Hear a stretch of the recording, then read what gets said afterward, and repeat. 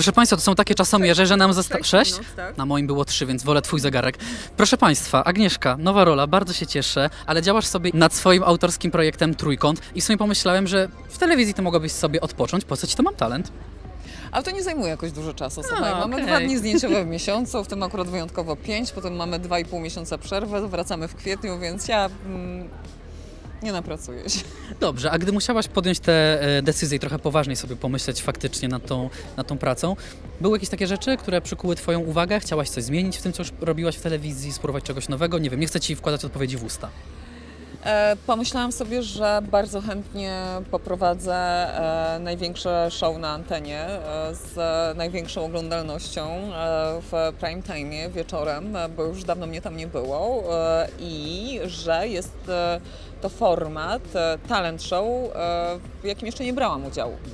A Pomyślałam sobie też, że może do końca życia nie będą takie propozycje spływały ciągle, więc może to ostatnia szansa. Ale to nie chodziło o zegar, czy że już kończysz tutaj... Biologiczny. Matko Boska, nie idźmy w tę Nie stronę. no, śmieję się, ale faktycznie myślałam sobie, a nuż, e, więcej takiej propozycji nie będzie. Nie, tak serio. Um, to była bardzo miła propozycja i wiesz co, to jest program, który niesie ze sobą tyle dobrych emocji i takich pozytywnych przeżyć, że mm, pomyślałam chętnie.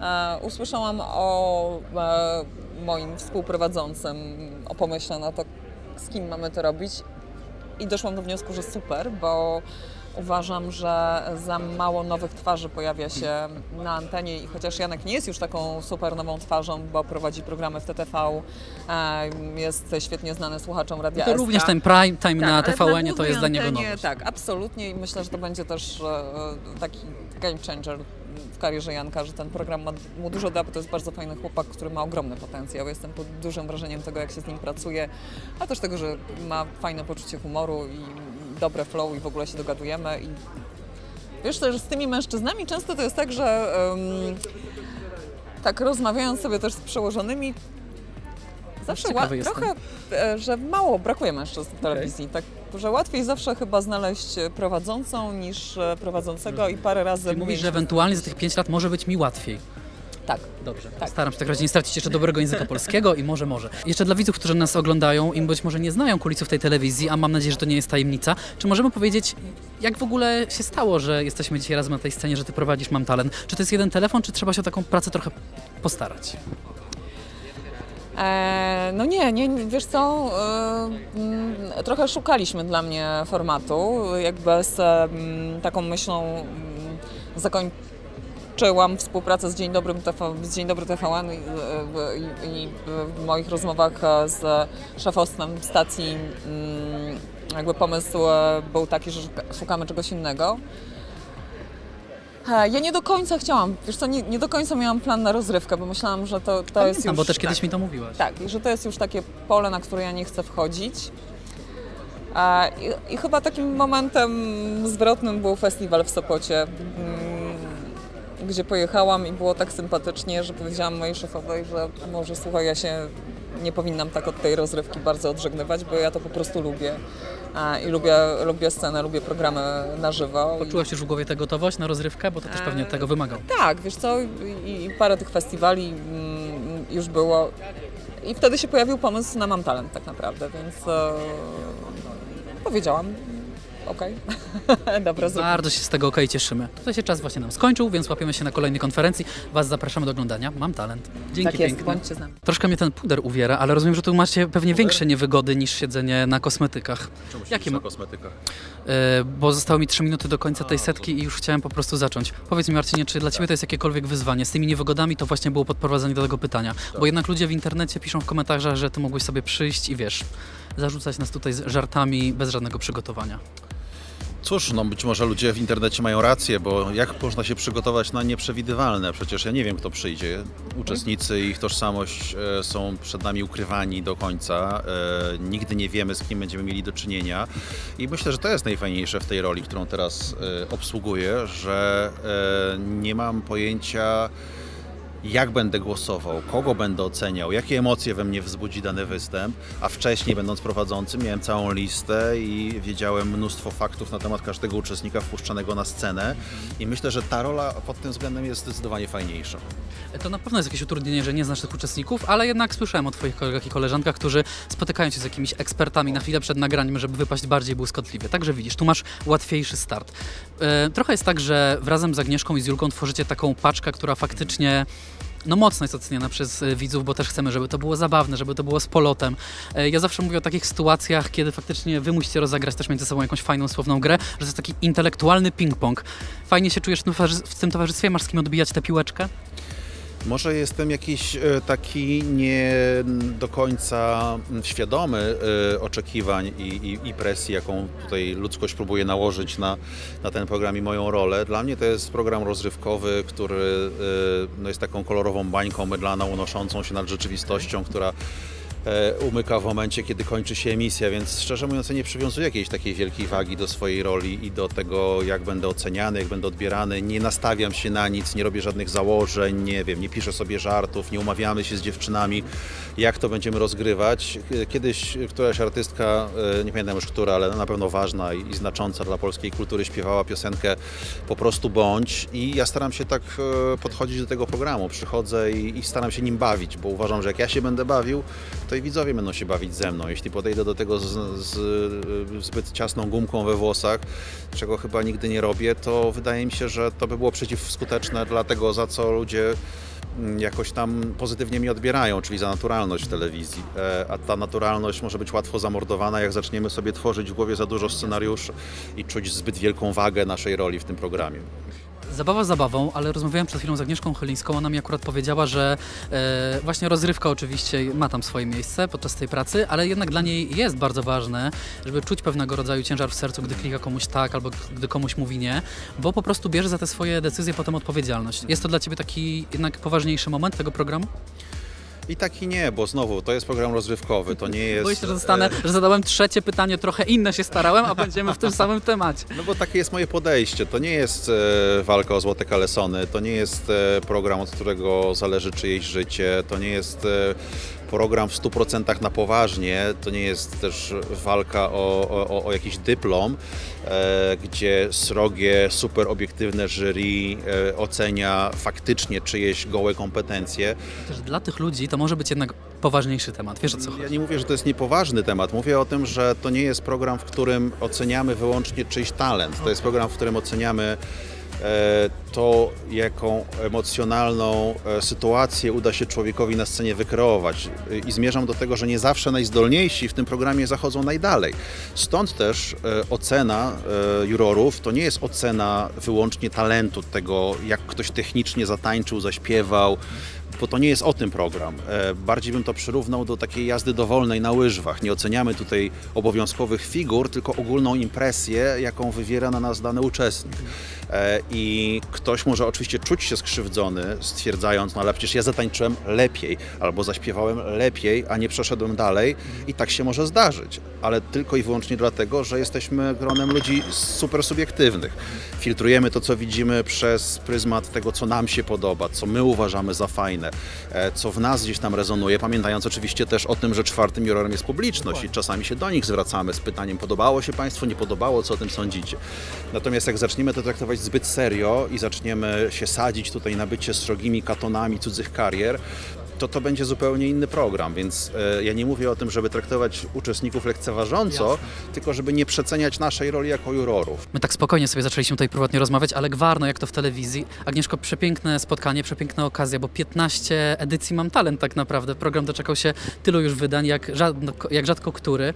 No i ty przetrwałaś te wszystkie edycje, ale zastanawiam się, czy jesteś inną jurorką niż tych już 16 lat temu, kiedy pierwszy raz weszłaś na plan? Oj tak, to jest y, wszystko kwestią doświadczenia. To, o co dbałam przez te wszystkie lata, to przede wszystkim o to, żeby nie wpaść w rutynę. Ale tutaj się nie da wpaść w rutynę, ponieważ program Mam Talent jest programem żywym. To jest żywy program. My wprawdzie mamy zasady, których mamy się trzymać, a więc jest ten y, moment występu artysty, to jest określone w czasie, jest potem y, mm, czas na naszą ocenę e, i te wszystkie prawidła, mm, dochodzenie do kolejnego etapu, potem ścisła czterdziestka, która towarzyszy przez y, odcinki półfinałowe, no i w końcu ten Piękny, oczekiwany finał. Ja to nie lubię finału z tego tytułu, że się kończy. A, no tak. E, e, Poza tym ja też lubię mieć wpływ e, do końca, a w momencie, kiedy ci nasi wybrańcy są już w półfinałach, tak naprawdę ludzie o, decydują o ich losie. E, I wtedy są takie, myślę, w moim, w moim sercu największe emocje, nie? Że często jest pytanie, dlaczego wybrali ją, a czemu nie jego? I- Trochę inaczej niż ja bym to może ułożyła. Tak, dokładnie, dokładnie. Ale, Natomiast, naj... Mhm. proszę, proszę, mów. Ale największą moc macie w tym etapie castingowym, który nagrywany jest aktualnie teraz. Mnie zastanawia też jako widza i dziennikarza, za chwilkę powiem dlaczego, czy najtrudniejszym momentem dla Ciebie podczas tych castingów jest to, że czasem trzeba komuś powiedzieć nie?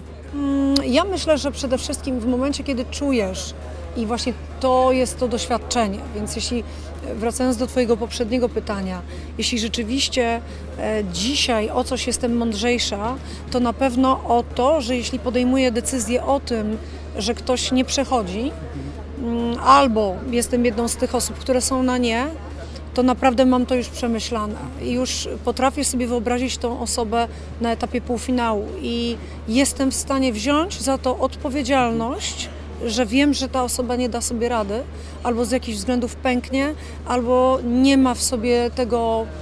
Bo tutaj są jakby takie dwa czynniki. Jeden czynnik to jest talent. Bezdyskusyjny talent. Drugą rzeczą jest mm, siła charakteru i osobowość. To musi iść w parze. Tak, i jeśli mamy do czynienia z uczestnikiem, który jest przezdolny, ale on niczego nie zrobi, bo jest leniwy, albo po prostu nie wie, nie dojrzał jeszcze do tego, żeby sobie odpowiedzieć na główne pytanie, czego ja chcę. Bardzo często tutaj pada pytanie do uczestników, jakie plany wiążesz z tym programem? Czy to jest tylko głupi filmik na YouTubie, który chcesz wrzucić? Czy rzeczywiście masz przygotowaną tą płytę? To są moje pytania do wokalistów. Mm, Ja zdaję sobie sprawę z tego, że większość naszych uczestników chcą się pokazać. Chcą wyjść z tym swoim jakimś y, dziwną zajawką na przykład, albo z jakimś swoim wariactwem i to jest piękne. Czasami zdarza nam się też uczestnik bardzo trudny, bardzo ambitny, który dostał pobieg gdzieś, gdzieś, gdzieś i u nas już taki bardzo zdesperowany ze swoją frustracją chce na siłę otrzymać ten permit do przejścia. No i go na przykład nie dostaje, tak? To nie ten czas, nie to miejsce, Tak, zwyczajnie. Natomiast oczywiście musimy się liczyć y, po pierwsze z tą osobą, musimy się też liczyć z krewnymi, którzy przyjechali, którzy wiadomo, że bezkrytycznie podchodzą do, do, do, do wszystkiego, co się dzieje na scenie. No i potem buczą, czy są obrażeni, czy, czy składają, później piszą jakieś listy pełne żalu. Rozumiem te emocje, natomiast no, wzięłam to na klatę y, te 16 lat temu i rzeczywiście mm, nie chcę przez to powiedzieć, że jest to trudna praca, natomiast staram się ją wykonywać maksymalnie uczciwie, choć oczywiście jest to moja subiektywna ocena i mierzę swoją miarą czy swoim doświadczeniem. Ale pięknie powiedziałaś o tej uczciwości, bo mam takie wrażenie, że z tym powiedzeniem komuś nie jest dokładnie tak jak zadawaniem pytań podczas wywiadu, że można to zrobić na 100 różnych sposobów i warto wybrać ten jeden najlepszy. Taki, żeby ta osoba, która za chwilę niestety będzie musiała zejść ze smutną miną ze sceny, po prostu nie poczuła się rozczarowana, skrzywdzona. Czy ty na przykład przez swoje różne doświadczenia zawodowe, bo domyślam się, że jako artystka może usłyszałaś kiedyś też nie, faktycznie myślisz też o tym w ten sposób, żeby tej osobie zwyczajnie nie było przykro, żeby podać to w jej najlepszy możliwy sposób? Wiesz co, ja myślę, że przede wszystkim e, to jest kwestia, jakie nie się w życiu usłyszało. Jeśli nie się usłyszało z własnej winy, z własnego mm, jakby takiej swojej krnąbrności czy bezczelności, no to potrzeba trochę czasu, żeby później jakby uznać, cofnąć się do tego momentu i przyznać komuś rację. I rzeczywiście zdarzało mi się w życiu usłyszeć nie z tego tytułu. E, natomiast jeśli dostawałam nie z tytułu tego, że ktoś po prostu intencjonalnie chciał mi zrobić przykrość, to oczywiście mm, no, człowiek gdzieś tam nosi to w sercu, e, ale mm, żeby też zasiadając tutaj y, w roli ju- jurora, nie przynosić trochę tej przeszłości. Ja tutaj mogę przynieść doświadczenie jurora, mogę przynieść siebie 17-letnią, kiedy po raz pierwszy byłam poddawana ocenie, kiedy po raz pierwszy przyjechałam do studia do Warszawy, ja jestem z Gdańska. e, I kiedy nagle e, po prostu rzeczywiście, i to były jeszcze takie okrutne czasy, kiedy to musiałeś wysiedzieć, podczas gdy wielki szef wytwórni wysłuchiwał w Twoim towarzystwie, i siał różnego rodzaju uwagi. Jako ta najmądrzejsza głowa. Jako ta najmądrzejsza głowa kiedyś było zupełnie inaczej. Znaczy, kiedyś było tak, że mm, słuchałeś na bieżąco tego, co uważa ktoś, kto cię ocenia. To było dla mnie strasznie bolesne. Natomiast, natomiast myślę, że to jaki ja mam w ogóle swój cel tutaj, to też wzięcie odpowiedzialności za te osoby, które my wysyłamy do półfinału. Ja chcę być z tych ludzi dumna. Ja chcę za nich ręczyć. Ja chcę za nich rekomendować i nawet podkładać swój łeb. Bo jak się domyślasz, w momencie, kiedy dzieją, dzieją się live'y, kiedy już mamy te półfinały, bardzo często rozkręca się też już w mediach plotkarskich, jak powinnam zagłosować, a ten chłopak był fajny, czemu ona... Dlaczego odrzuciliście 10 artykułów? Tak, pod- tutaj trzeba, tutaj trzeba mieć taką mocną tarczę. I tą y, tarczą jest po pierwsze, myślę, empatia wobec uczestnika. E, Drugą rzeczą jest zdrowy rozsądek.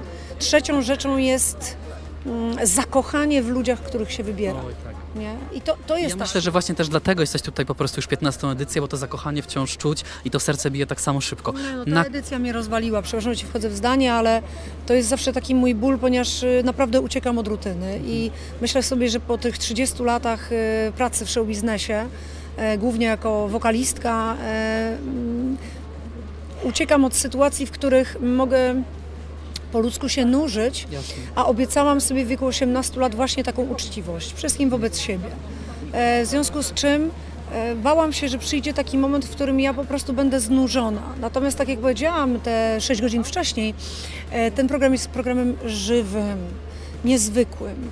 Ten program budują uczestnicy i to my musimy się odnaleźć w tej sytuacji, dając pokłon przed dzieciakiem 12 czy 9-letnim, który tańczy w taki sposób, że po prostu czapki z głów. I który waszą reakcję zapamięta też do końca życia. Otóż to i za to też trzeba wziąć odpowiedzialność.